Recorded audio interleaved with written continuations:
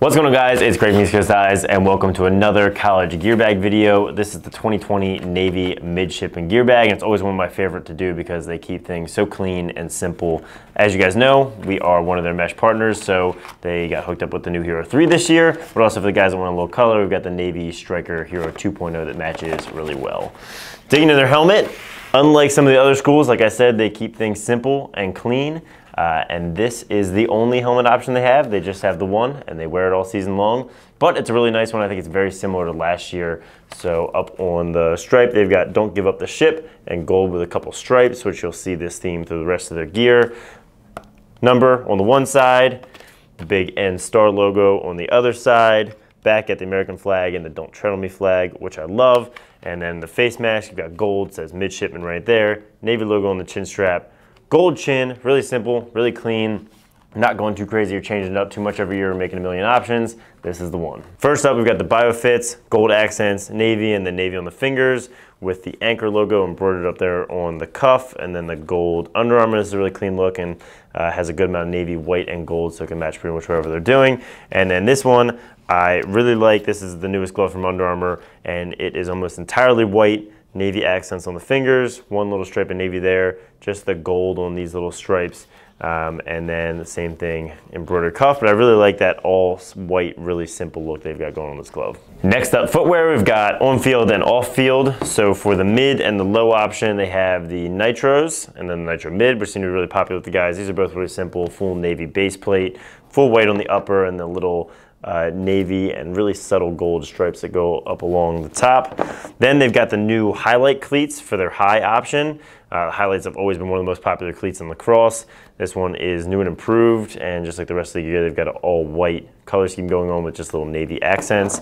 And then their gym or off-field shoe is gonna be the all navy with white bottom HOVRs, I have a pair of these shoes. They are really comfortable and great for working out too. I love these. Then for uniforms, they've got three options. Number one is the home whites. They've all got the really nice embroidered logo and numbers. And this is a newer jersey from Under Armour that has a lot of venting and a lot of stretch. This is a really nice jersey. Uh, in gold on the back, don't give up the ship, just like we talked about, some stripe accents.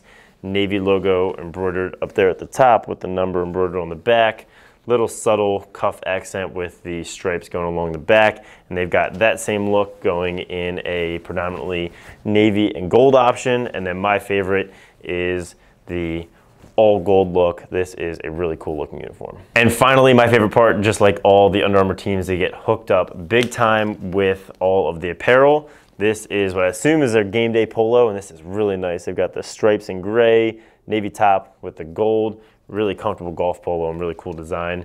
Then they've got their shooting shirts for wearing on game day.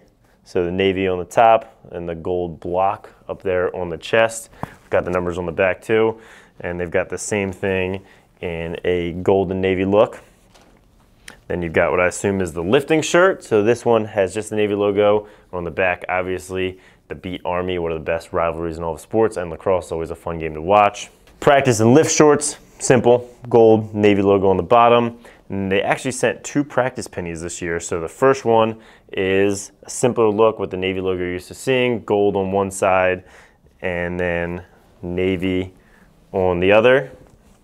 And then they sent the second practice penny, which is really cool as opposed to the regular Navy logo.